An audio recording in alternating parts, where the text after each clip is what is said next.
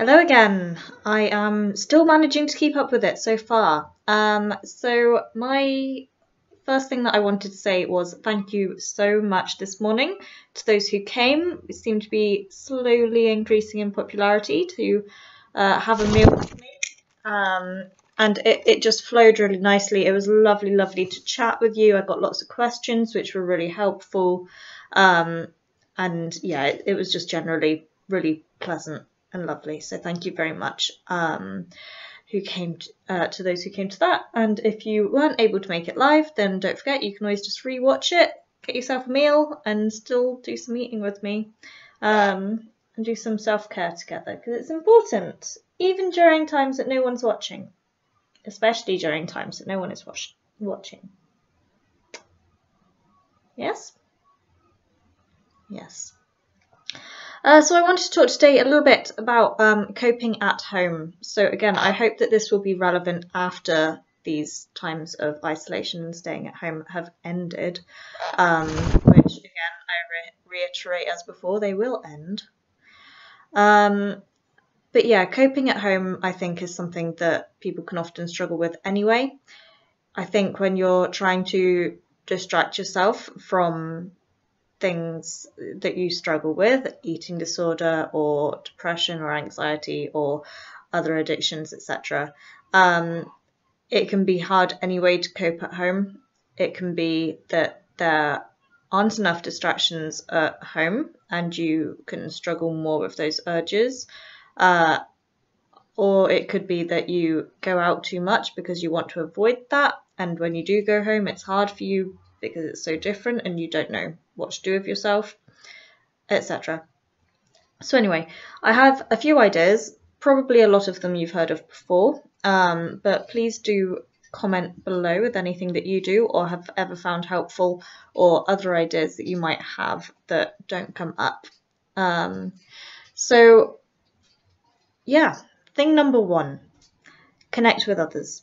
So that could either be like I've discovered a new thing called a Netflix party. Thank you to the person who pointed that out to me. Um, that you can, it's a attachment that you can put onto your browser, um, which means you can kind of watch Netflix with someone else, which is a lovely way of connecting and still filling up your time whilst having kind of company without having to be there. Um, also, a phone call, uh, texting someone, messaging someone, sending a nice email to someone, you know, making those connections to people is a very good way to fill up that time. Um, another thing that can be helpful is um, gentle exercise at home, so such as yoga, um, or if you're um, if you're able to do um, Pilates safely, then you could potentially do that. There's quite a few courses and things that are available online and videos that you can um, kind of move along to and follow their guidance. So that could be very helpful. And I'm aware that actually during this time, quite a few gyms and um, dance schools and various things are trying to make a kind of online membership available to people as well. So hopefully over the next um, over the next coming while, uh, those will actually provide more and more opportunities, uh, which would be good. Another thing that's very good to pass time and to distract you is writing. Um, so when I say writing, I mean it in a very vast sense. It could just mean a list of things that you're grateful for. It could mean journaling. Uh, it can mean writing poetry. Uh, it could be planning for something. So something that I actually can spend an awful lot of time doing and um, really distract myself as if I plan for something in the future. So it could be that I'm um, planning what tomorrow is going to look like, or I'm planning a week schedule, or I could be planning a shop.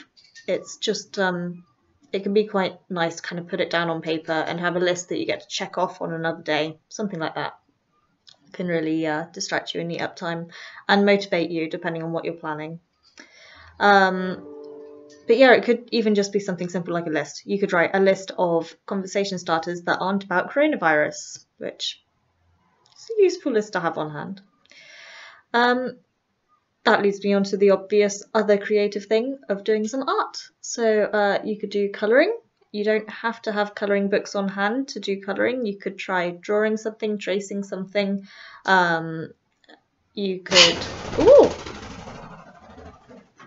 yeah, some colouring. That's also very good for kind of being mindful. Um, you could do painting and you could do paint by numbers, um, doodling, any of those kind of, you know, nice creative things. There are things where you, um, where you can buy a kind of what looks like a black sheet and it's got an outline on it and you use a scalpel and you scrape off the kind of black outline and underneath it shows metal and it looks very pretty. Um, so there's lots of different options there as well. Uh, reading, obviously, um, and that can also be done with others. Something I suggested in my last couple of videos is that it could be helpful if you agree with someone else that you're going to read a certain book until a certain page and then chat with them about it because it's kind of that connection as well as just reading. And I think it can be hard sometimes, um, at least I know for me, it is hard to sit and read a book um, if you are struggling and to distract yourself. But knowing that you kind of have got an end um, page goal uh, to get to uh, can help, and kind of setting those goals can help you to do any of these suggestions really anyway. Um, and having that addition of having someone else know that you're doing it, I think can help again with any of these distractions and home kind of occupations.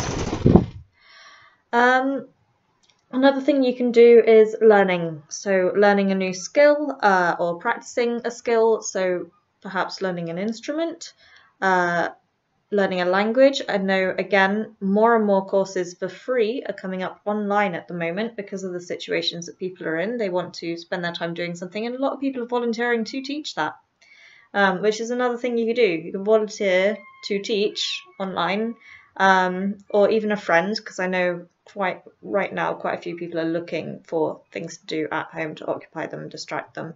Um, you could offer to teach someone else something. Um, but yeah, or you could practice meditation. That's another thing that you can teach yourself and practice and get better at. Um, and having that time and space to do it and really try to um, be mindful and clear clear your head a little bit of whatever you need distraction from and you know occupy yourself meditation, it's a great time to do that. Um, and then there's FIMO. So I mentioned, uh, sorry, not FIMO, there's crafts. Uh, so I mentioned that there are um, obviously arty things you can do, putting pen to paper. Um, but there's also things like FIMO, which I like, which that's why it came to my head just then, um, is basically clay that you can put in the oven and it kind of cooks it hard. Um, there's knitting, of course, sewing. Um, one of my friends um, actually does resin. So um, she kind of puts resin into molds and makes very beautiful things. And people do it with whole pictures and things like that. So it's worth looking up um, those things. Another one of my friends makes and decorates tote bags.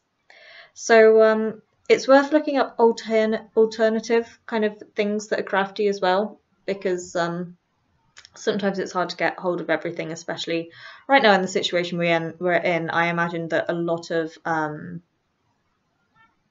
common uh, hobbies are going to be selling out of their supplies fairly quickly. Uh, so finding out what other kind of alternative little things that you can do, and possibly the ones that you don't need supplies for at all, um, could be well worth doing.